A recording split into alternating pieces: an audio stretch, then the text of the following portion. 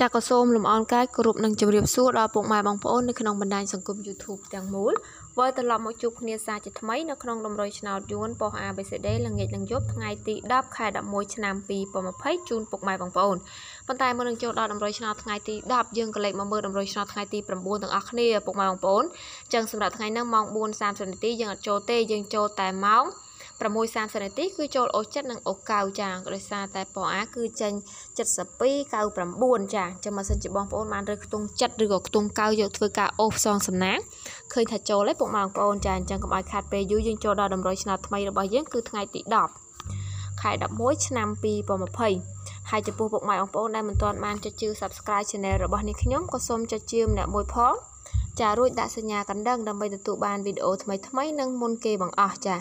អញ្ចឹងសម្រាប់លេខតូចចាសម្រាប់លេខតូចរបស់យើង គឺមានលេខចា11ចា11 31ចាចា31 51ចានិងចិត្តគុតសម្រាប់លេខអូពុកម៉ែបងប្អូនធ្វើការអូសនៅខ្ទង់10ចាខ្ទង់5ចានិងខ្ទង់30 សម្រាប់3លេខរបស់យើងគឺមានលេខ123ចា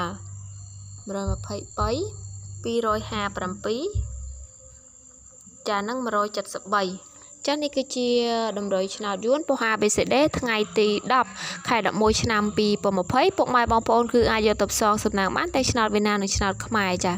ជូនពរសំណាងល្អនឹងហេងៗទាំងអស់គ្នាសូមអរគុណសូមជម្រាបលា